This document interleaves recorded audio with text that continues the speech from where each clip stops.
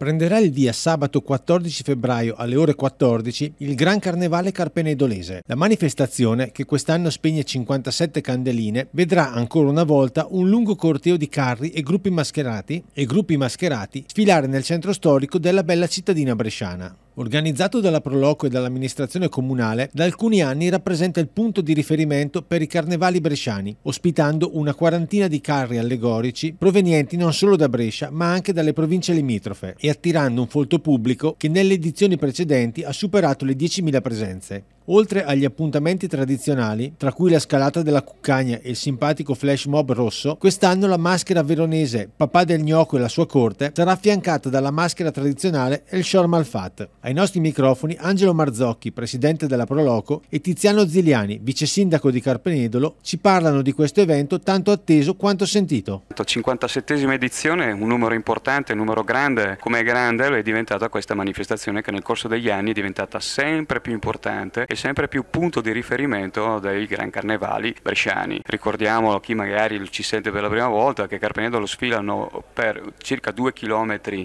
di percorso, oltre 40 fra carri e gruppi mascherati che provengono da tutte le province vicine, Mantova, naturalmente Brescia, Cremona, Bergamo e Verona, con cui abbiamo anche un gemellaggio con una loro maschera tradizionale che è il Gran Papà del Gnocco. Anche quest'anno sarà affiancata dalla nostra maschera tradizionale che abbiamo ripescato dopo un lungo lungo lavoro certosino di, eh, di, di, ricerca e quindi presenteremo il nostro El Sior Malfat che quindi riprendiamo anche uno dei nostri piatti tipici che diventerà sempre più protagonista del nostro paese.